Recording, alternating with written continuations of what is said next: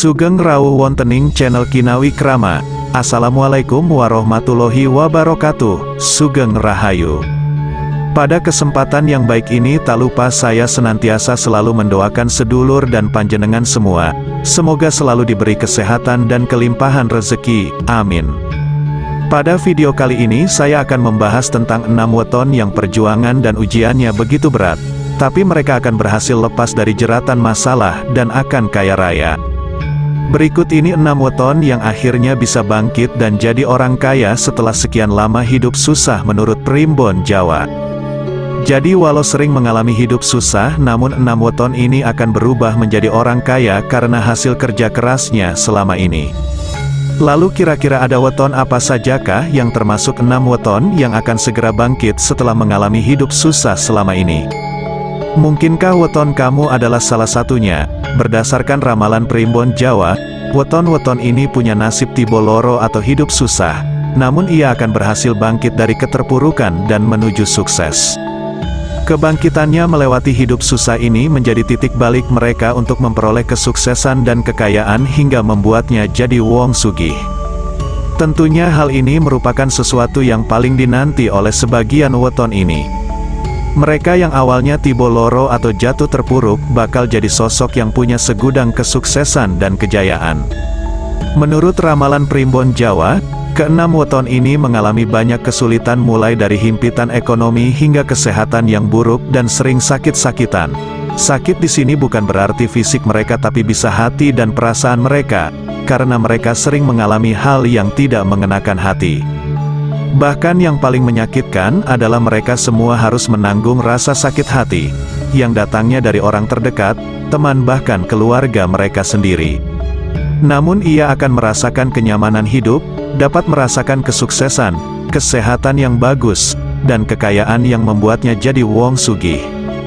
Sebelum pembahasan ini saya lanjutkan saya selalu mengingatkan bahwa keberadaan primbon hanya sebagai gambaran, motivasi, penyemangat dan pengingat supaya kita bisa lebih berhati-hati dalam menjalani kehidupan ini dan bukan untuk kalian percayai sepenuhnya. Dan untuk yang belum subscribe, silahkan subscribe, like, komen dan aktifkan tombol lonceng notifikasinya agar silaturahmi ini tetap terjalin. Lantas siapa saja weton yang akan bangkit dari keterpurukan, kesusahan hidup dan akan jadi orang kaya mari kita simak bersama video ini hingga akhir supaya dapat jawaban lengkap.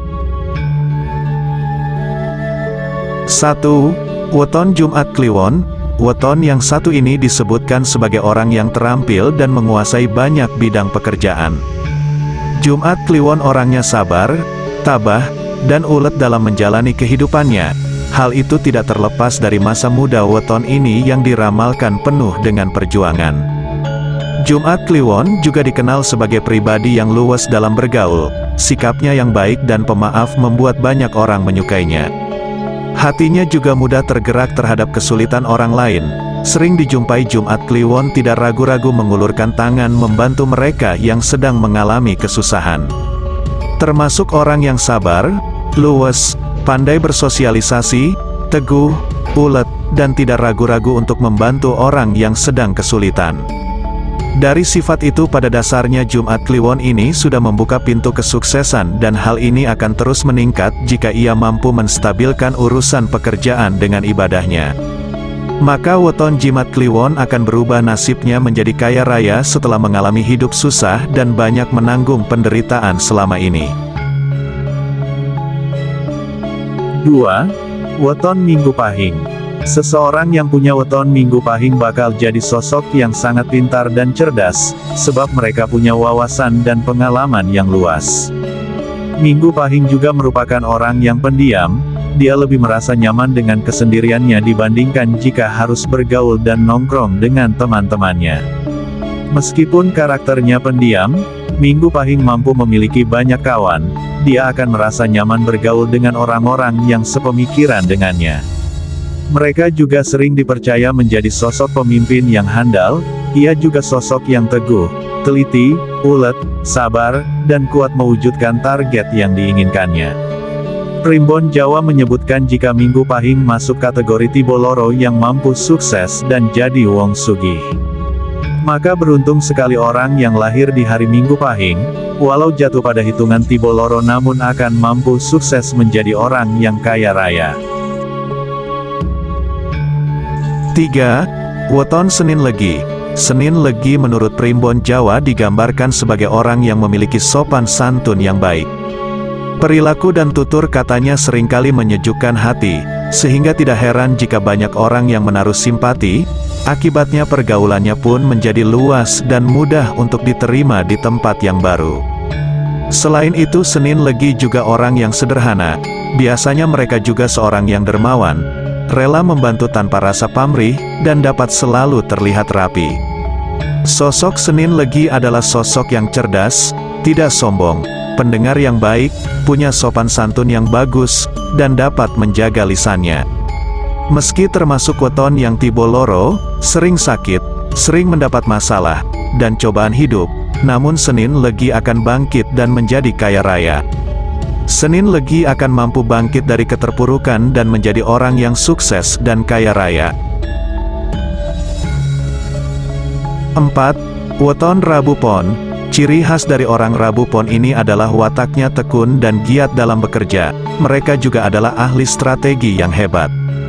Ketika akan memutuskan sesuatu atau bertindak, mereka akan berpikir masak-masak dan berhati-hati dalam melakukannya, maka tidak jarang buah kerjanya selalu berhasil dengan baik. Selain memiliki kemampuan yang baik dalam bersosialisasi, Rabu Pon juga terbuka terhadap perubahan dan peluang baru serta tidak mudah putus asa. Kitab Babat Palintangan meramalkan bahwa pada dasarnya Rabu Pon mempunyai kerezekian yang bagus apabila mampu mengolah hidupnya dengan baik. Hal tersebut sebenarnya mengandung makna bahwa jika Rabu Pon dapat bertahan dan tetap berjuang menuju cita-citanya, maka segala kesakitannya pasti akan berbuah kesuksesan. Orang yang mempunyai weton Rabu Pon bakal jadi sosok yang tekun, telaten, dan giat dalam menjalani pekerjaannya. Weton ini memang punya segudang rezeki, namun hal ini terkendali oleh manajemen yang kurang bagus. Primbon Jawa meramal jika Rabu Pon dapat mengatur rezekinya dengan baik, ia dapat menikmati kesuksesan dan rezeki tersebut meski tidak banyak. Jadi weton Rabu Pon juga termasuk weton yang jatuh pada hitungan Tibo Loro namun akan berubah menjadi kaya raya. 5. Weton Minggu Wage, Sosok Minggu Wage dikenal sebagai orang yang punya bakat sosial yang bagus, mereka akan mampu bergaul dengan siapa saja, ramah, dan tidak membeda-bedakan pertemanannya. Minggu Wage selalu berusaha agar lebih unggul dibandingkan orang di sekitarnya, sehingga dapat dikatakan weton ini mempunyai daya saing yang tinggi. Daya saing tersebut akan memicu suatu sikap positif dalam dirinya yaitu wataknya yang rajin dan suka bekerja keras. Dalam kitab Palintangan, Minggu Wage disebutkan sebagai orang yang suka bertirakat, di mana tirakat dan kerja keras adalah sebagai kunci sukses weton ini untuk menuju kesuksesan. Weton ini juga punya ambisi yang tinggi, ia akan berusaha menjadi yang terbaik, rajin, dan sukses dalam pekerjaan yang sedang digelutinya. Dengan sifat tersebut ia dapat lebih mudah meraih apa yang diimpikan. Meski sering mengalami kendala kesehatan dan cobaan hidup, ia akan mampu sukses dan menjadi Wong Sugi. 6.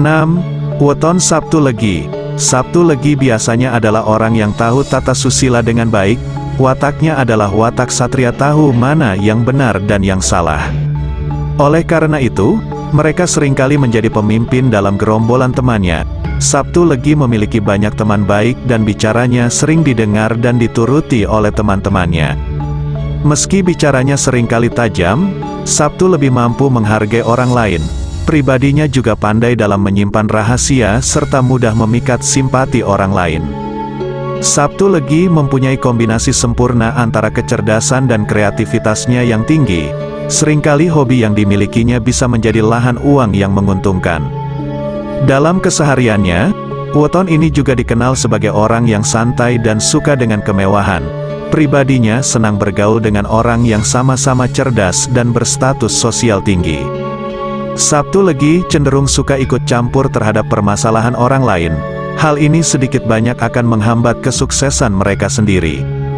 Hal itu karena waktu, tenaga, dan pikirannya akan terbuang percuma untuk mengurusi masalah yang bukan menjadi prioritas dan tanggung jawabnya.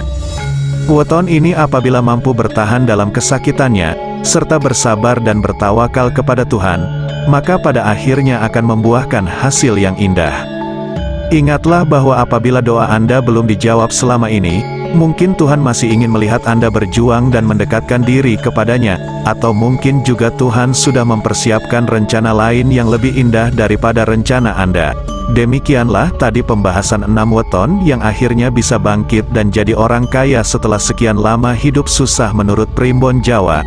Terima kasih sudah menyempatkan untuk menonton video ini sampai jumpa dengan video berikutnya.